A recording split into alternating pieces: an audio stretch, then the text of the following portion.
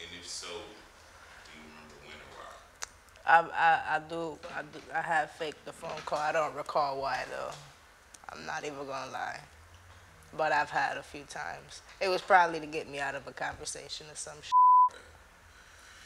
Probably been a while, but I feel like I maybe that's a maybe. That's probably high school days, but I would probably be more straight up, be like, yeah, I just don't want to talk to you. I'm out this.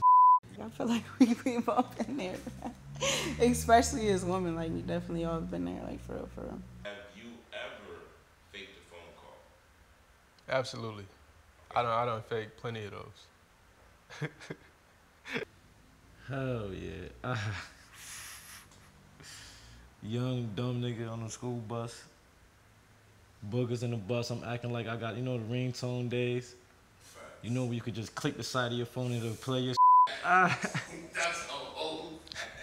I'm on there acting like niggas calling me and for the boogers.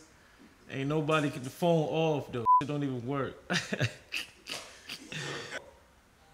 Fake the phone call. Yeah. I still fake phone calls.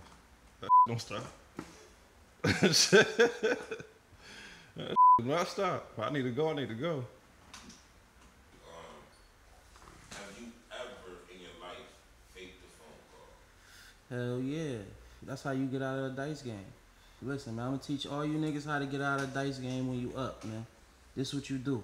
So dice game, when I know I'm up a little bit, I text my brother. Swear to God, Kayvon, one of the first people I text. Yo, bro, call me five minutes. Craig the trouble, come quick. Soon as he hit me, word.